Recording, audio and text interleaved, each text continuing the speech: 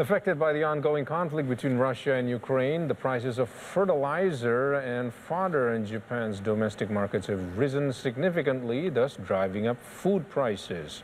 Potash is one of the most widely used fertilizers in the country, applied in growing many vegetables, including popular vegetables in Japan such as komatsu, cabbage, radish, and cucumbers.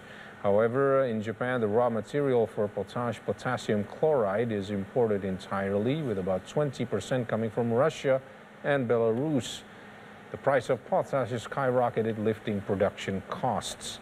Meanwhile, the breeding industry has also been affected by the more than one month old conflict.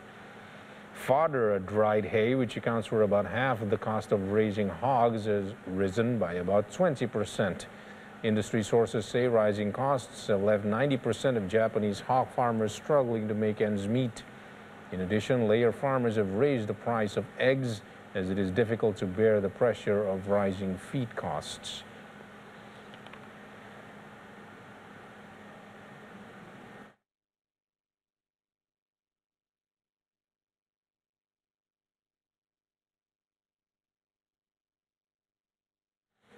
You know, the increase of food prices is happening all around the world. The Russia-Ukraine conflict has a knock-on impact on the farming production in the UK as it drives up fuel and fertilizer costs, as well as rising food prices amid lingering gloomy prospect.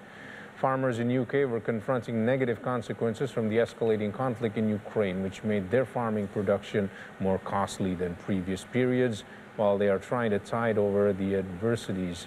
Two years ago, the UK imported a quarter of its fertilizer from Russia, but natural gas is one key ingredient of fertilizer, with costs rising sharply, now tripling in price hikes.